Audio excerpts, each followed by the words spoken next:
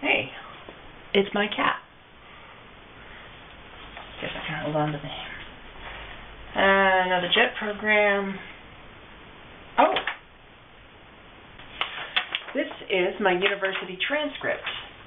I had to get this as part of the JET application, but since that never materialized, I have this transcript. Oh, here, uh, have a look at my college degree. I graduated from the University of Oregon in June of 2009 with a Bachelor of Arts degree in Religious Studies.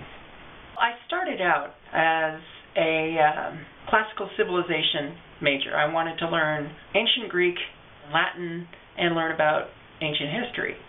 But after studying Latin and Greek at the same time my freshman year, and somehow managing to not only get onto the dean's list but get into a honor society, I said, okay, that's way too much Greek and Latin for me. I I I don't want to spend four years of my life doing nothing but Greek and Latin study.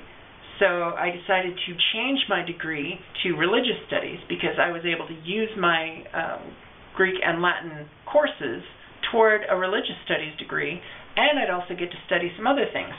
I got to take cool courses like ancient Roman cooking, that was fun, art and politics in the ancient world, sex and gender in Christianity, sex and gender in antiquity, and what else did I take here?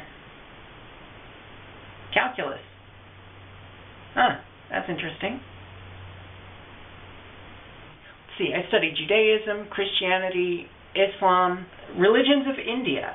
So I learned, I studied um, Hinduism, Buddhism, Sikhism, and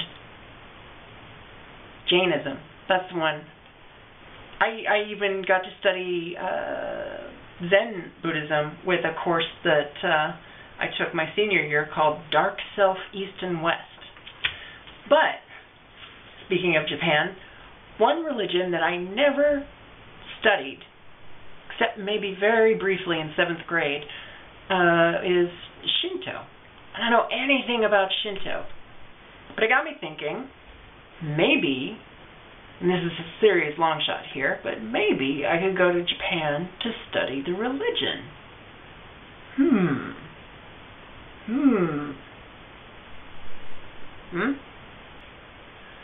Now, being a religious studies major, I have got a bunch of books on the subject of religion, including a few holy tomes. I have got a study Bible, which I used a lot in college.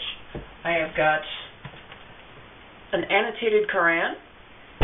I've got the Bhagavad Gita, because at one point I really thought I was going to become a yoga instructor, but that never materialized. One of my personal favorites, The Illustrated Book of Genesis. Excellent stuff. But out of all of these books here, uh, a lot of them are analysis of religion, a lot of them are history of religion, uh, social context, anthropology of religion. Um, but none of these books cover Japanese religion except, okay, maybe this one here. But this is uh, Zen Buddhism, not Shinto. Still an excellent book, though.